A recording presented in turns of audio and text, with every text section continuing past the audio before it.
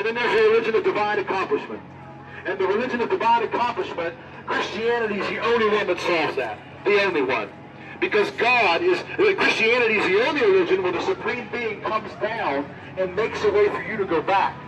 Whether you're in the false religion of, of Islam or the false religion of Buddhism or the false cults of Jehovah Witnesses or the Mormons, they're all works righteousness.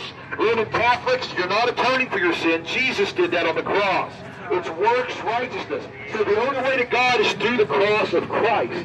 The cross of Christ makes a way for you to come to God. Through that cross, friends, through that cross. Because what happened on that cross? What happened on that cross was, was, was this. On that cross, okay, here's what happened. On that cross, God crucified his son.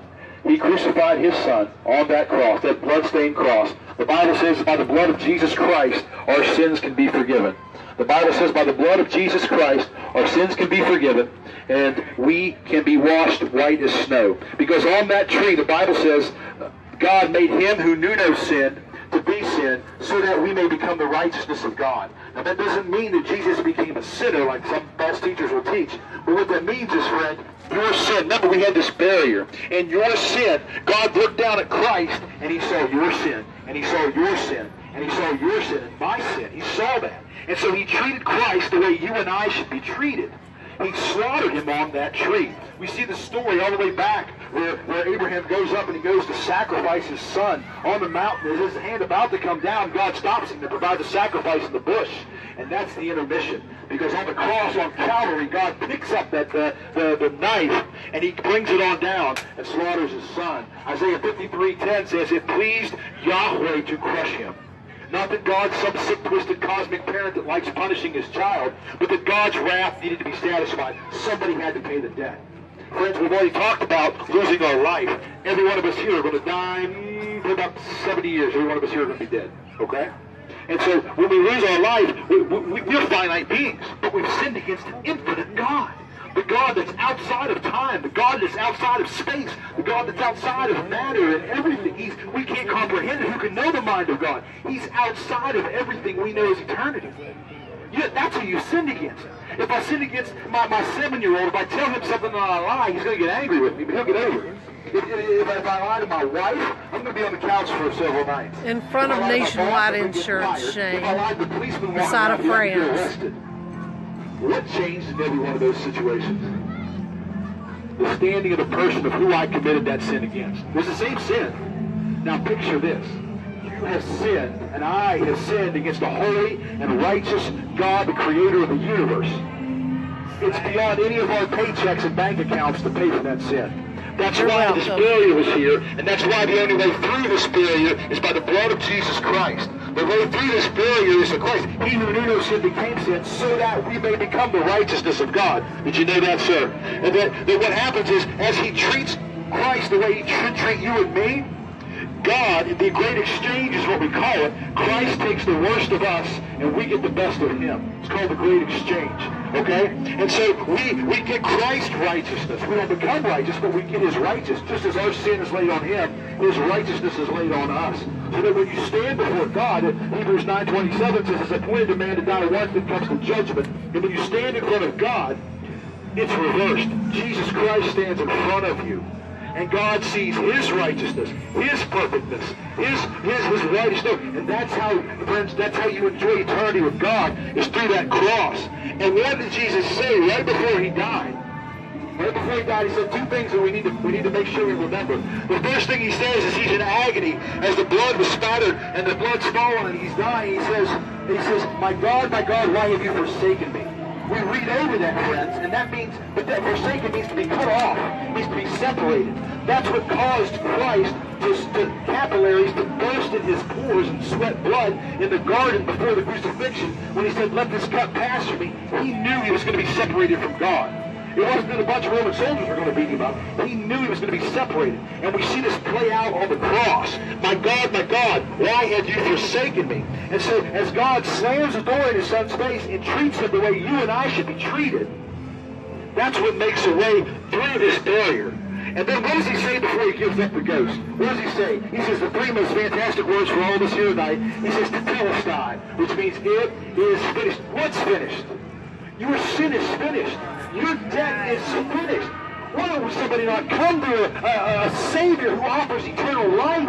Why would you want the burdens of the cults like the Jehovah Witness and the Mormons that lay on this word? Jesus says, come to me, you weary. Come to me, you heavy laden. I will give you rest. My burden is light. My yoke is light. My burden is easy, he says. But because man is prideful, and our hearts, as John Calvin says, are idol factories, we don't want to bend the knee. Because if we recognize God, which we know, then, then we have to bend the knee because we're accountable to God. But everybody knows God exists, friends. Read Romans 1. So, so he gives up, he says, the Philistine. Now, if he would have just paid for all your sins, which he did, when you turn to him as a Savior, I won't tell you to accept Jesus as Savior.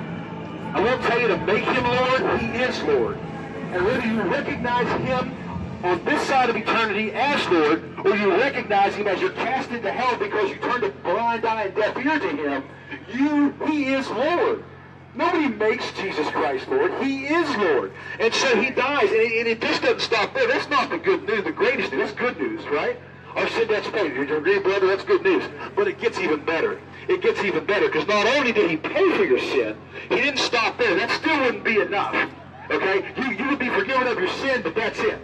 That would be it. There still would be a way to heaven. To complete the passage through the sin barrier, the blood, the cross, the Savior, the Lamb of God sacrificed, three days he lays in the tomb. And on the third day, some, some churches celebrated with, with the pagan goddess of fertility and Easter bunnies and all that other garbage. But on the third day, Christ rose from the dead. He Amen. rose from the dead. And what's that mean for you and me? That means that Christ, He defeated sin, He defeated death, He defeated hell. And if you turn to Christ, put your faith and trust in Him, in His first sermon in Mark 1.15, Jesus says, For the kingdom of God is at hand, now repent and believe in the gospel. A repentance is a turning away. It's turning away from your sin and turning to God and putting your faith and trust in Christ. And when you come to Christ and you are born again and you have a new heart and you have a new nature, then you get that inheritance from Him. You get an eternity with a victory over sin, a victory over death, a victory over hell, just like Christ showed when He rose on the third day and ascended into heaven. No. Friends, you're not going to find a better offer than this. But you have to understand something. You have to come to God on His terms, not yours. Because many people walking around here is like, well, I want to get right with God someday. I need to go finish out a couple more years of beers with my buddies and getting tanked and stumbling in the thing. I need to finish doing this. I need to finish doing that. Friends, James says life is a vapor. Those of you within the sound of my voice tonight may not wake up tomorrow morning. That's not a scare tactic. That's just a fact of life. Okay? I promise you, people that have, that have and listen, let, let me tell you something else that's just going to kind of bring on your parade a little bit tonight. The Bible makes no provision to give anybody a free pass if you die because of an accident. If you die because of yourself. Okay? Like I said, we just came from, I was in Charlottesville a couple weeks ago where that girl got ran over by the, by the white supremacist guy. Now, I know Heather Heyer didn't wake up that morning planning on dying. But here's the sad reality. This, this, this breaks my heart to say this. If she did not know Christ as Savior, even though it wasn't her fault, she was a victim of a hate crime. She's not in heaven right now. It draws me back to a story last year. A woman was 55 years old, sitting on the beach in Virginia Beach, celebrating her birthday with her best friend.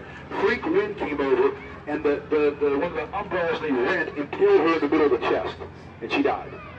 Do you think she planned on dying when she woke up that morning celebrating her birthday at the beach? Nope. If she didn't have a relationship with Jesus Christ, guess where she is? You see, friends, life is so fragile. We're not promised our next breath.